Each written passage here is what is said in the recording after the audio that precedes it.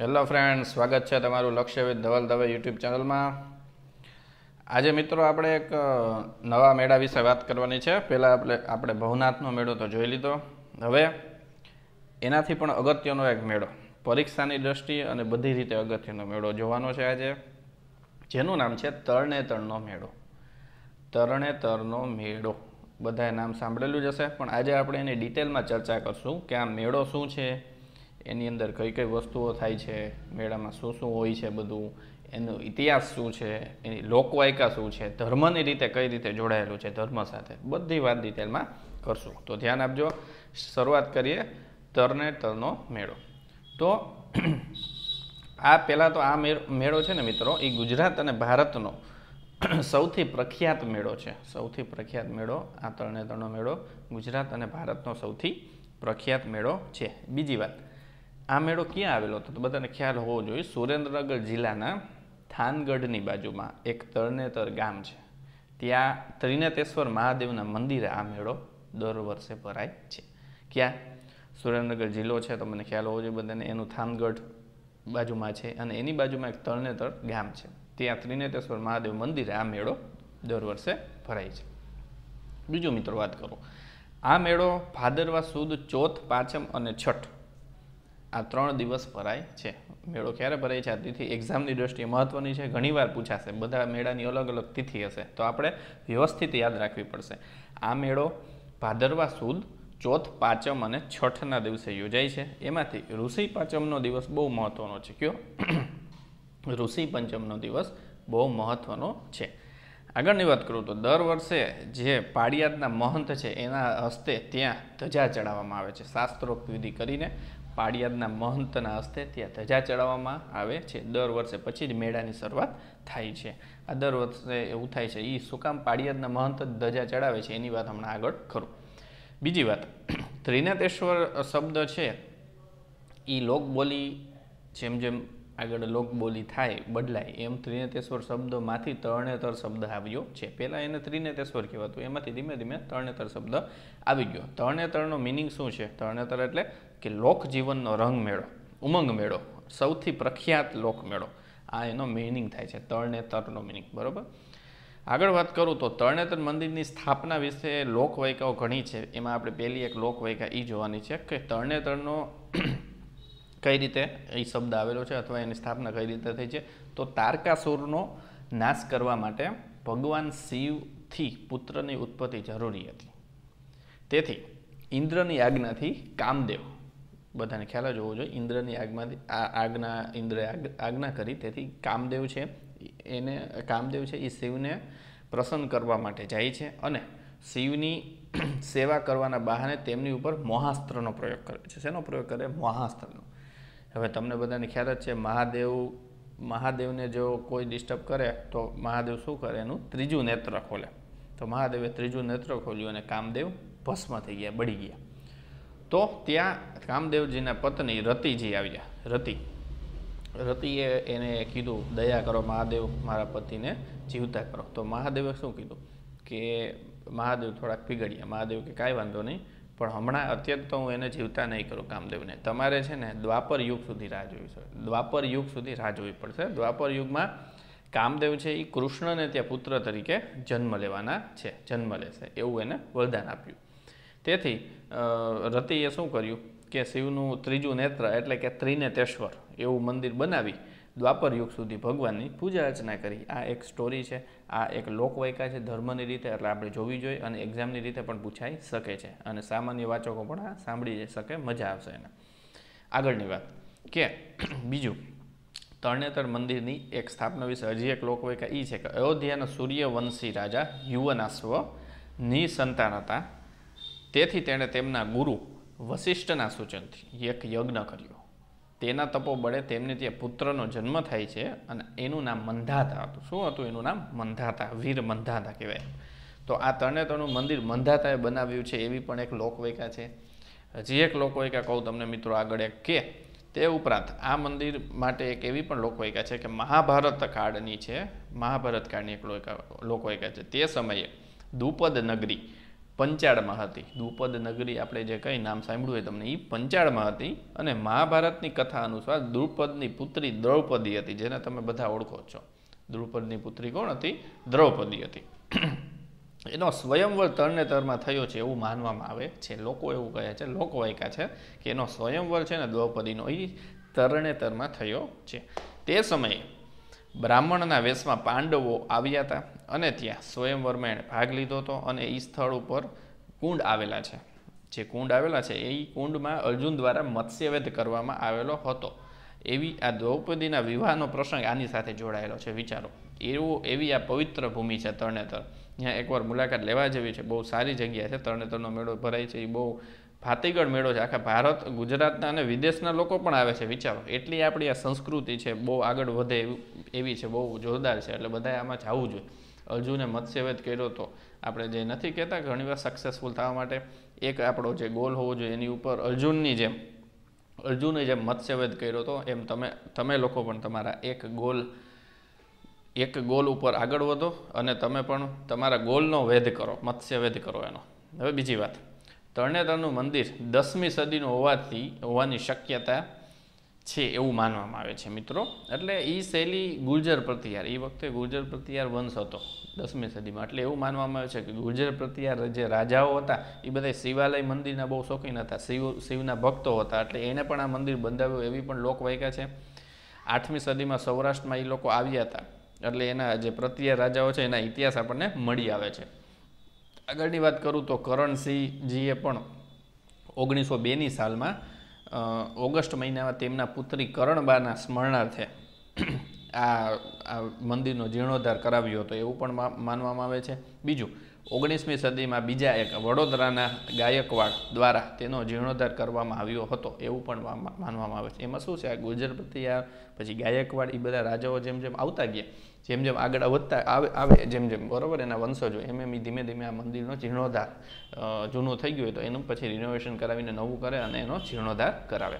આગળની વાત કરું તો મંદિરની સામેની બાજુએ તળાવ છે. અને આ મંદિરમાં બે શિવલિંગ સ્થાપિત છે. બે શિવલિંગ છે, મોટું શિવલિંગ પ્રાચીન છે અને તેની બાજુમાં આવેલું નાનું શિવલિંગ એ એની પ્રતિષ્ઠા કરણસિંહજી રાજાએ કરાવ્યું હોવાનું માનવામાં આવે છે. એવો એવો એણે એનો જીર્ણોદ્ધાર કરણસિંહજી રાજાએ કરાવ્યો હતો. એની શિલ્પકલા મંદિરની કોતર, કોતરણી અદ્ભુત છે, મોહક છે અને મનોહર છે. બરાબર? તમે જોવો એટલે એની ખબર પડે આપણને. કોતરણી એવી બહુ ઝીણી ઝીણી કરેલી છે. એ વખતે બધા જે કારીગરોએ છે, બહુ મસ્ત રીતે એની કોતરણી કરેલી છે. બીજું, મંદિરની બાજુમાં ત્રણ કુંડ આવેલા છે. બ્રહ્માકુંડ, વિષ્ણુકુંડ અને શિવકુંડ. આ એક્ઝામની દ્રષ્ટિએ મિત્રો હું મોસ્ટ ઇમ્પોર્ટન્ટ વસ્તુ કહું છું, કોન્સ્ટેબલ, બિન સચિવાલય, તલાટી ક્લાસ થ્રી કે જીપીએસસી કોઈ પણ એક્ઝામમાં પૂછાઈ શકે છે કે તરણેતર મંદિર છે, મહાદેવના મંદિર છે, તેની બાજુમાં ક્યાં ત્રણ કુંડ આવેલા છે? બ્રહ્માકુંડ, વિષ્ણુકુંડ અને શિવકુંડ. આ આપણે યાદ રાખવાનું છે મોસ્ટ ઇમ્પોર્ટન્ટ મંદિરની બાંધણી છે ને ખૂબ જૂની હોવાથી શિલ્પકલાનો વારસો ત્યાં જળવાયેલો છે. મંદિર છે એ પુરાતત્વ ખાતાની હસ્તકમાં આવે છે. કોની હસ્તકમાં? પુરાતત્વ ખાતાની અંડરમાં એ મંદિર આવે છે. બીજું તરણેતરનો મેળાનો એક બહુ પ્રસિદ્ધ કિસ્સો જે મેં કીધું હતું પાડિયાતના મહંત છે, એની ધજા જ કેમ ચડે છે? એનો કિસ્સો હવે હું કહું છું તમને લોકોને કે વિમાસણ વિમાસણ બાપુ કરીને પાડિયાતને એક મહંત હતા. એ એમની જુવાનીમાં પોતે બહુ તોફાની હતા, બહુ તોફાન કરતા. એ ઘોડું લઈને નીકળી જતા ગામમાં, બરોબર? તેથી એકવાર સોનગઢના આપા ગોરપા અને ચલાલાના આપા દાના એ બે સંતો છે, બરાબર? એ બે સંતોએ તરણેતર નજીકના જંગલમાં તેમનું હૃદય પરિવર્તન કર્યું. આ વિમાષણ બાપુનું હૃદય પરિવર્તન કર્યું અને એને તરણેતરના મંદિરમાં ખાખરી હનુમાનની જગ્યા છે, ત્યાં લાવી અને ગોળ ચોખા રાંધી આખા મેળાને ખવડાવવાનો આદેશ આપ્યો બાપુને. તેથી વધેલા ગોળ ચોખા પાડિયાદ લઈ જઈ સદાવ્રત આપવાનો આદેશ કર્યો. એ વખતે બંને સંતોએ આપા વિહામણની બાવન ગજની જે પાઘડી હતી, એ પાઘડી ભગવા રંગમાં બોડી અને આપા વિહામણનો આદેશ કર્યો કે તમે ધજા ચડાવી દો. એટલે સૌથી પ્રથમ એણે ધજા ત્યાર ચડાવી હતી. ત્યારથી હવેથી અત્યાર સુધી નિયમ જ છે કે મહાદેવના મંદિર ઉપર જે ધજા ચડે ત્રિનેતેશ્વર મહાદેવના મંદિર ઉપર એ પાડિયાદ બાપુની ધજા ચડે. સૌ પ્રથમ પછી જ મેળાની શરૂઆત થાય. એનું એક અનેરું ધાર્મિક આકર્ષક છે. આ ધાર્મિક એક આકર્ષક છે અને આ લોકવેક મેં તમને કીધી. જે વિમાસણ બાપુની પાડિયાદના મહંત. આગળની વાત કરું તો ત્યાં રૂપાળા છોગાડા ઉડાડતા, કેડિયા ગુમાવતા, મુછાળા યુવાનો અને ભાતીગળ ચાડિયાને ઘેર લેવરાવતી યુવતીઓ અહીં ગરબો ગાય અને દાંડિયા રાસ પણ ગુમાવે છે. મિત્રો, આ આ મેળામાં હું તો એકવાર જઈ આવ્યો છું. તમે લોકો પણ જાજો. હું બહુ નાનો હતો ત્યારે, તો પણ મને થોડું ઘણું યાદ છે કે તમે આ મેળામાં શું છે? ખબર છે? અલગ અલગ ભાતીગળ સંસ્કૃતિ જોવા મળે. ટ્રેડિશનલ ટ્રેડિશનલ ડ્રેસ જે હોય, એમાં યુવાનો, યુવતીઓ બધા રાસ ગરબા લે. બરાબર? પછી ત્યાં અલગ અલગ ગ્રામીણ ઓલિમ્પિકનું પણ આયોજન થાય છે. બરાબર? પશુ દોડ યોજવામાં આવે છે. બળદગાડાની દોડ છે કે અલગ અલગ દોડ યોજવામાં આવે છે. પછી અલગ અલગ પહેરવેશ તમને જોવા મળશે. ત્યાં અલગ અલગ રાજ્યોના રાજસ્થાની ટાઈપ છે કે મારવાડી ટાઈપ છે, કચ્છી લોકો આવે છે. તો આ એકની આ ભાતીગળ સંસ્કૃતિ જ્યાં તમને નોમાંનો મોટા મોટા સેલિબ્રિટી લોકો પણ આવે છે મેળો જોવા માટે. એવો આ અનેરો મેળો છે. એટલે ત્રણ ત્રણ ચાર દિવસ એટલું બહુ આ મેળાનું મહત્ત્વ છે ને કે લોકો ત્યાં બધું ભૂલી અને ત્યાં આવે છે અને ત્યાં આખો મેળો માણે છે. ત્યાં અલગ અલગ બજારે મોટી મોટી ભરાય છે. જ્યાંથી તમને બધી વસ્તુ મળી શકે. ટ્રેડિશનલ બધી આપણી જે જૂની સંસ્કૃતિની જે બધી વસ્તુ હતી, જે હાથ હાથ ગૂંથણથી જે સ્ત્રીઓ મહેનત કરીને કરે છે, ગૃહ ઉદ્યોગથી એ બધી વસ્તુઓ ત્યાં વેચાવા આવે છે અને એ પણ લેવી જોઈએ. બહુ સારી બાબત છે. જેથી કરીને આપણા ભારતની જીડીપી આગળ વધે કે આપણો ભારત દેશ મેડ ઇન ઇન્ડિયા અને મેક ઇન ઇન્ડિયા અંતર્ગત આજે એક વાત કરી દઉં કે ત્યાં એ મેળામાં આપણું મહત્ત્વ વધુ રહેશે ત્યાં ચાઇનીઝ આઇટમ ઓછી જોવા મળશે, પણ આપણે ઇન્ડિયાની આઇટમ વધુ જોવા મળશે અને એ આપણે ખરીદવી જોઈએ. આગળની વાત કરું, તો ત્યાં પુરુષો છત્રી નૃત્ય કરે છે, છત્રીનું નૃત્ય કરે છે અને સોળથી યુવતીઓ પોતાના ભાવિ જીવનસાથીની શોધમાં ત્યાં જાય છે. આ બધું મહત્ત્વ છે, સામાજિક મહત્ત્વ છે, ધાર્મિક મહત્ત્વ છે, બધું મહત્ત્વ ત્યાં આવી જાય છે. આર્થિક મહત્ત્વ પણ છે, મેં કીધું. આ જીડીપીની બાબતે કે આપણા લોકો બિચારા મહેનત કરીને આવે છે બધી વસ્તુ. તો એ વસ્તુ આપણે લેવી જોઈએ, જેથી કરીને એ લોકોને રૂપિયા મળે અને આપણો દેશ આગળ વધે. મેળામાં સુંદર ભરત ભરેલી છત્રીઓ મેળાની વિશેષતા છે. ત્યાં છત્રીઓનું બહુ મહત્ત્વ છે. છત્રીઓ, તમે મેળાનો ફોટો જોજો. એવું હોય તો હું મૂકી દઈશ ફોટો.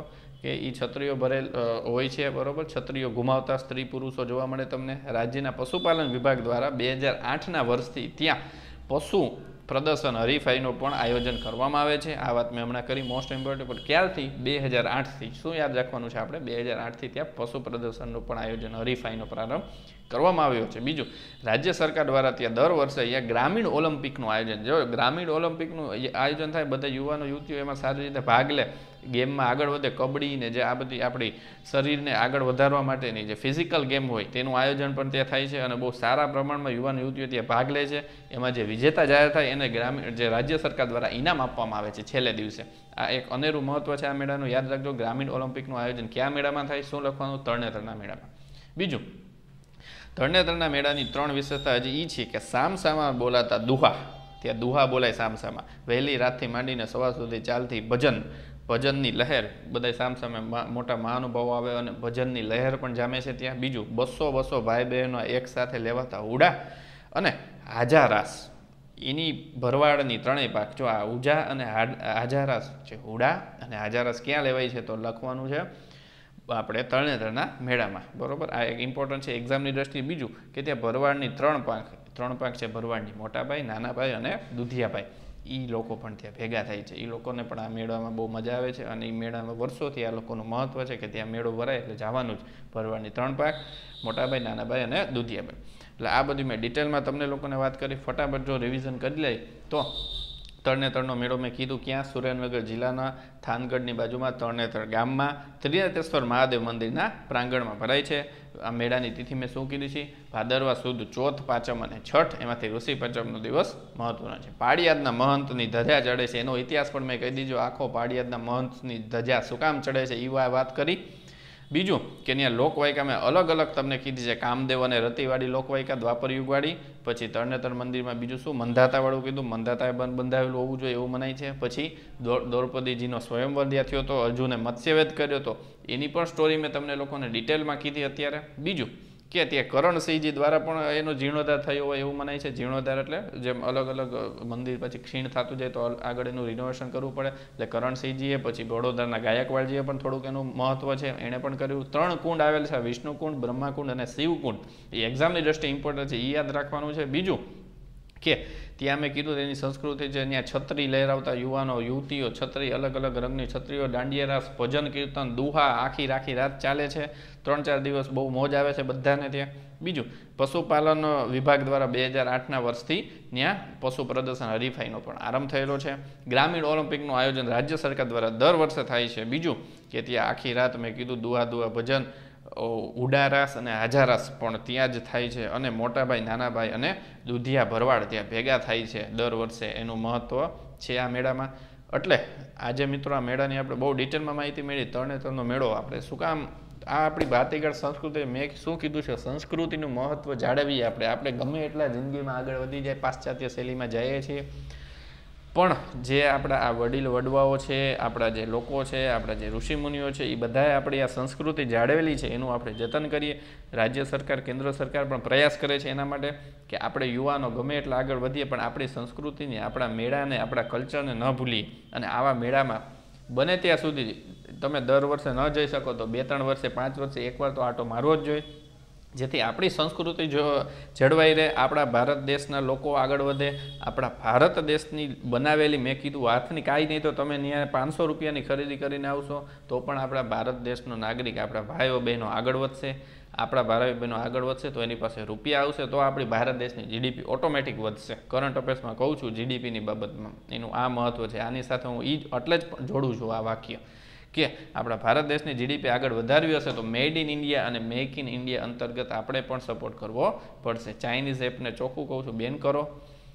પબજીને બધી બેન થઈ જ ગઈ છે, બરોબર? તો આપણી આવી સંસ્કૃતિમાં જઈ, મેળામાં જઈ અને એ લોકોને આગળ વધારીએ અને આપણી સંસ્કૃતિ આખા વિશ્વમાં, આખા ભારતમાં એનું નામ થાય. બધે આપણે આગળ વધીએ. એવી શુભકામના. આ મેળા મજા આવી હોય તો આ વધુમાં વધુ લાઇક કરો શેર કરો સબસ્ક્રાઈબ કરો આ લેક્ચરને બીજા મિત્રો સુધી પહોંચાડો. તમે શેર નથી કરતા, ઘણા લોકો હજી શેર કરવામાં કંજુસાઈ ન કરો. શેર કરો વધુમાં વધુ, જેથી બધા લોકો આ મેળાને જોઈ શકે. તમને બધું હું આ માહિતી અહીંથી ફ્રીમાં આપવામાં આવે છે, એટલે તમારું એક જ ઉદ્દેશ્ય હોવો જોઈએ ખાલી આ લેક્ચરને વધુમાં વધુ શેર કરો અને પૂરો વીડિયો જો મળીએ નેક્સ્ટ લેક્ચરમાં જય હિન્દ, જય ભારત. Thank you